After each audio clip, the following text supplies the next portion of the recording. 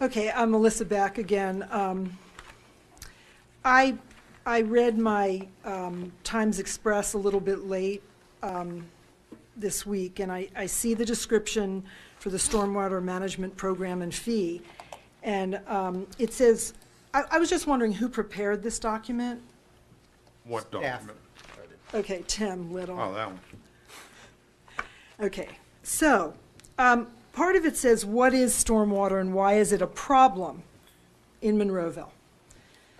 So I'm going to do something I've never really done here before, because I feel like I've been coming here to speak with all of you for many, many months and years, and there's some disconnect. And so I just want to mention uh, little Greta, who's 15 years old, who spoke before the United Nations. Um, at the recent COP summit that they had there, and she looked at the United Nations people that were in your positions um, and said, you know what? I don't think what we've been doing is working. We're not asking for your help. We're not asking for your help anymore because it's not working. And the reason that I'm mentioning this is, Mr. Little, I need to say these things publicly. Um, stormwater is not a is not a problem. I believe that we can reduce what we need to and comply with this ordinance by putting by by banning herbicides, pesticides, and fungicides. What am I talking about? Because there's more sprayed on lawns than any other crop in the country. And there's certainly a lot sprayed in Monroeville. What, am I, what does this have to do with stormwater management? Because if you have biodiversity in your lawn, it absorbs more water. That's one reason stormwater is not a problem. Another reason it's not a problem is because Spaceship Earth now is moving into permeable pavement, is moving into green rooftops.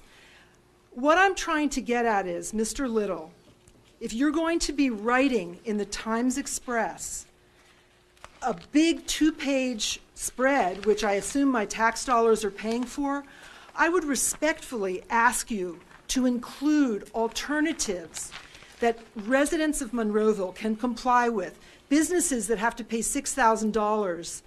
Um, I want I'm really, really curious because the gentleman um, back here who has to pay the $6,000 year after year is asking for the budget. And my understanding is, coming here time after time, you've got a budget for the administrative expenses, you've got a budget for the operational expenses. But what are the specifics? Are you going to encourage the residents of the municipality of Monroeville to to learn what the word permaculture means and grow food on their yards to share with neighbors? Are you going to talk to them about the things I just mentioned and put it in here instead of calling stormwater as a problem? You know, that's where I am. I don't think that, that um, you know, I, I thought for many years that I could come up here and ask people to exceed to go beyond and and I just I just don't understand. I don't understand why natural processes like stormwater is called a problem. I don't know where you're going to have to reach to put people on these in these in these positions to understand biodiversity, You ever see hormone the- disruption. You ever see the neighborhoods underwater? You don't think that's a problem? It's absolutely a problem. It's But we have the solution. We have the solutions, but they're not being shared with residents who don't understand. Well, you're not giving first people enough credit. It's up to them if that's what they want to learn how to do.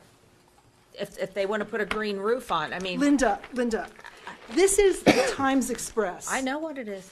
The Times Express is And you say saying, Mother Earth and ship is moving in this direction. By the time we get there, do you know how much uh, asphalt is out there right now? What do you want to do with that? Rip it all up and put it. so in? you're doing remediation, but at the same time. We have to. But at the same time, you need to educate the public. With the, there's a library. Maybe that's there's- not your there's job. Websites, No, no, there's, not your no, no, job. That's part of the permit. We have to agree. educate there's the education You're right. being done. But we gotta do step by step. Okay. There is education being, No, no, you're right, but first we're gonna even first. offer I it to haven't students seen- at the school so that I you ha- start at a lower level. Okay, I haven't seen any education yet Well, we just about, got, there'll we just started, 2019 just started. Yes. Just give it a second. It, it really will start to make sense as it gonna happen. rolls forward. so maybe the fee can be decreased as the years go by when we're You never know. complying. That's That- what- but that is There's no possible. guarantee. So It's that could be giving people hope? I doubt it, but it's possible. I Because hope- every year that goes on, some other flooding problem's gonna arise. I mean, But, but, coun- but, but on, on paper and legally, yes, council would have the option of changing that rate, changing the ordinance in general, abolishing the, the ordinance, there's. Correct. It's not, it's not There's always an out. set in stone for. But I think as the years go on, the federal government's gonna keep laying, making it responsibilities stricter and on us. harder. and We'll see what the federal government's going to be. Well, yeah. Yeah, Well, that's but, just- When they go back to an work, right? interesting- Yeah, they go Yes. back to work, right. but understand that we had a five-year permit, and we're already one year into it, so we only have four years to complete what we were asked to do in five. So we are really working hard Yeah, to meet I- every requirement. I'm just aware that there, and I can't give you specific examples, but there are other municipalities that are not charging fees, that They- are educating their communities. I thought no. we did a um, great they're job gonna have educating. to Unless they have the money tucked away somewhere to do what we're doing. And keep in mind how big Monroeville is. Maybe there'll be a whole sea change, and, You never know. these things will come out. Okay. Thank you. Thank you. ma'am. Thank you.